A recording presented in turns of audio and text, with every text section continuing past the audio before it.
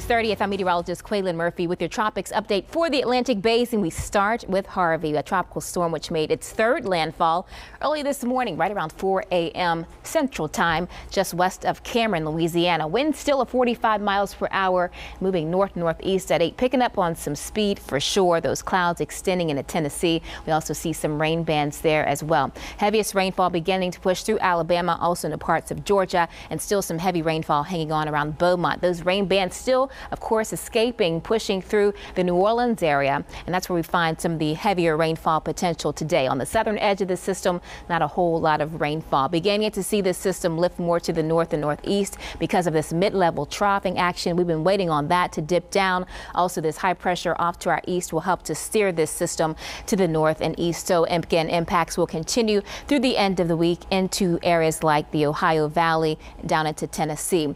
Drier air beginning to work its way into Houston. Houston, bringing about a break from that heaviest rainfall, but still over portions of eastern Texas like Beaumont, of course, Lake Charles, still seeing that threat of locally heavy rain. And again, that moisture still being funneled in across the Gulf South, including the New Orleans area, also into parts of Alabama. Here's that area of low pressure, a post-tropical system by the weekend, winds of 25 miles per hour as that center of circulation lands right around Kentucky into Ohio. We're still left with those impacts today, including a tornado watch, which was issued until until 6 o'clock for the North Shore and coastal Mississippi. That threat for some spin up tornadoes through this afternoon. Also some water spouts. A few of those could be intense in terms of the tornadoes, maybe with winds of 65 plus miles per hour. We also have some gusty winds along the coast, which is where the tropical storm warning is still in place for Lafourche and Terrebonne parishes with those wind gusts of 40 plus miles per hour. We're seeing those stronger winds being translated inland 38 miles per hour at this buoy here and a buoy report just south of Mississippi and Alabama between 20 and 25 miles per hour. In addition, the wind advisory from Plaquemines into St. Bernard into the metro area, also towards Livingston Parish for gusts of 25 to 35 plus miles per hour.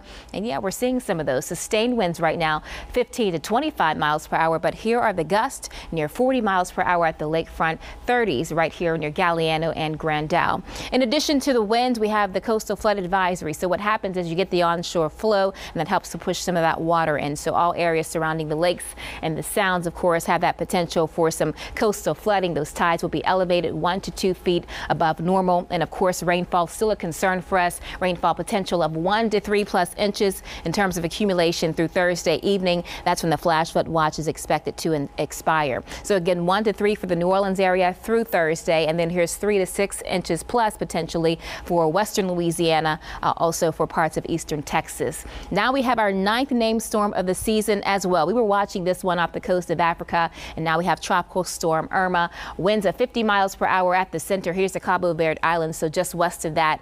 Moving west at 13. That generally westerly track will continue through the next several days. And through this time frame, we'll see those lighter winds in the upper levels or that weaker wind shear, which will allow for this system to strengthen likely to category one status by the end of the weekend to the weekend a little bit stronger by Monday. The National Hurricane Forecast has the system uh, still at a category one with winds of 90 miles per hour. So what you notice is a westerly track and then sort of a dip to the south. I know you see that, of course, heading towards the Leeward Islands. That's because we have an area of high pressure which will steer this system to the west and eventually that ridge will sort of drop down to the south. So that fold or that cone certainly extending uh, north towards the Leeward Islands and also pressing uh, as it seems to be making its way closer to the Leeward Islands. So this is something we'll track, of course, through the weekend, several days. Typically, when you have a system this far out, roughly seven to 10 days until it gets closer to the United States. I also want to draw your attention to the Gulf of Mexico and to next week. This is actually Saturday, September 2nd.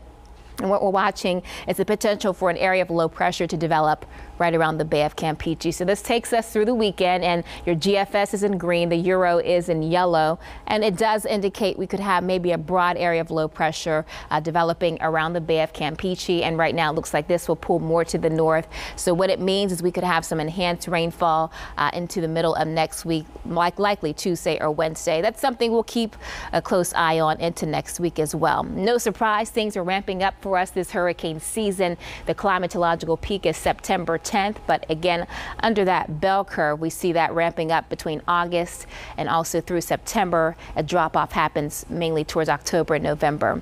That's your latest forecast for the tropics in the Atlantic basin, including the Gulf, Caribbean Sea, and the Atlantic Ocean. Make sure you tune in for more at WDSU.com.